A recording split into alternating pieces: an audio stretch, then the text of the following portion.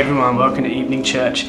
We're glad that you decided to tune in. Happy Mother's Day to all the mothers out there. We're glad that uh, you have been celebrated today for the significance that you've had in people's lives. We're currently at Jade's mum and dad's house. As you can tell, we're not in uh, our usual setup, but we're here to encourage and affirm uh, her mum and her grandma in uh, the support and the just the the foundation that they've had in her life.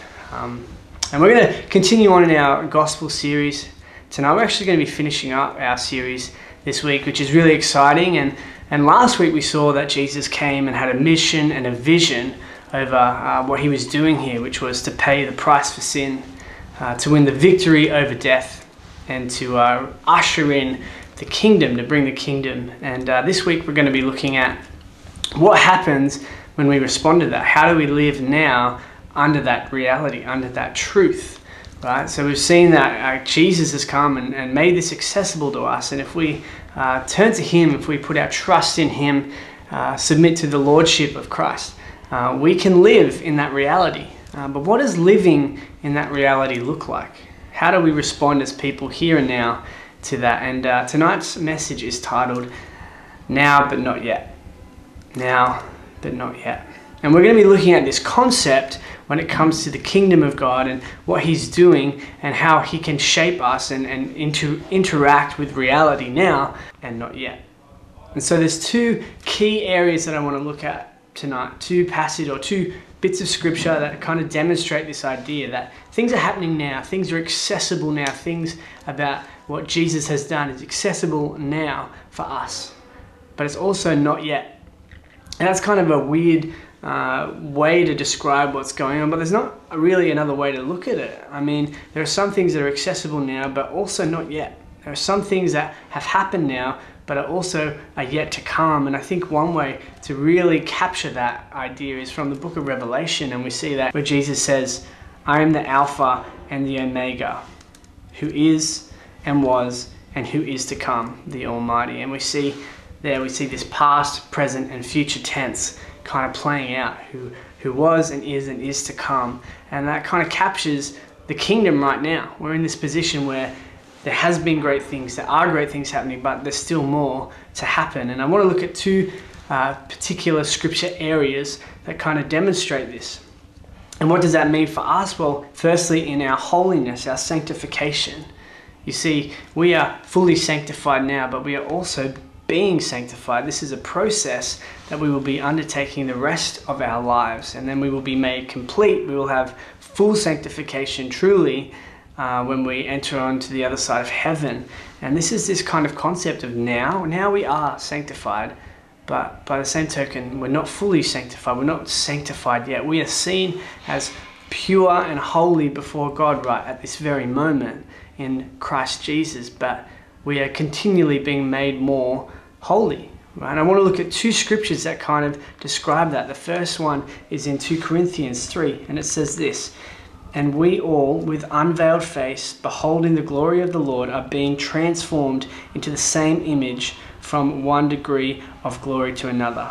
For this comes from the Lord who is the Spirit what this passage is telling us is that through the Holy Spirit, when we invite the Holy Spirit into our lives, He is on a mission. He is gradually transforming us. We are not fully sanctified to His desires just yet. We are being shaped. This is something that is not yet happened fully.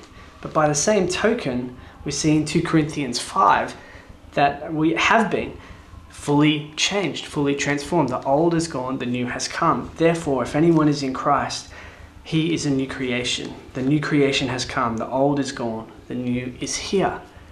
So we get this sense of now but not yet. We are new creations right now in this moment. But we're not fully there yet. Now but not yet.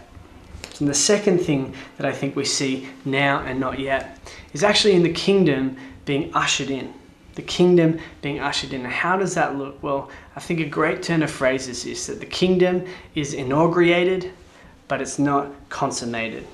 Right? So Jesus has been inaugurated as the king, but he will only be consummated as our king when he returns. Let me show you some scripture. In Luke chapter 17, we see Jesus talking about the kingdom being here now. In verse 21, it says, nor will people say, Here it is, or There it is, because the kingdom of God is in your midst. And that's Jesus referring to himself. He is the kingdom, it's here, it's arrived. The kingdom is here. But by the same token, we see that it's not fully realized at this point in time.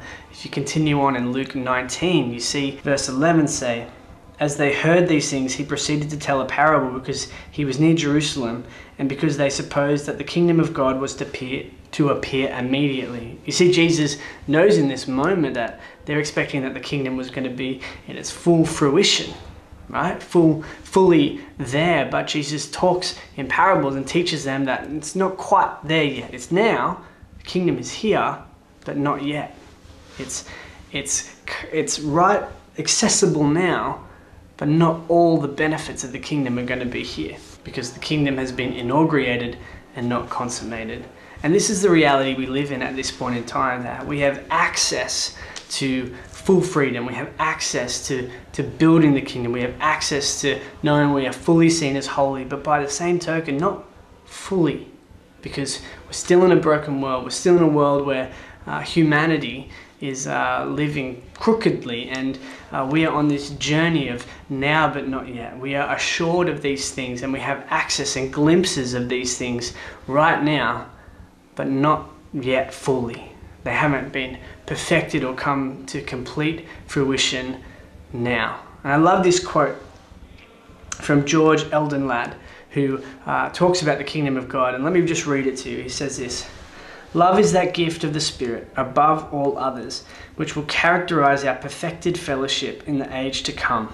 This love we now enjoy, and the church on earth will be a colony of heaven, enjoying in advance the life of the age to come. I love this idea that the church is a colony of heaven, that when Jesus coming and tearing the veil and making God accessible and having things now but not yet, we see that the church can be this fellowship of, of love and grace and truth and kingdom building.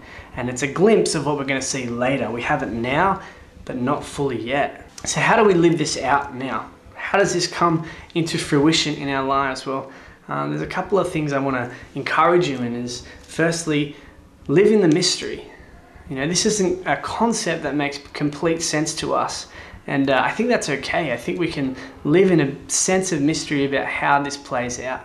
You know, uh, we, we have a sense in which a lot of things are assured for us now, but we don't really understand how they're assured or completely understand why they might not be assured in other people's lives or how things are coming to fruition for us or not for someone else. Or there's a, there's a deep sense of mystery about how this plays out. And I think it's okay to live in that tension and actually appreciate the mysterious nature of the now and not yet kingdom.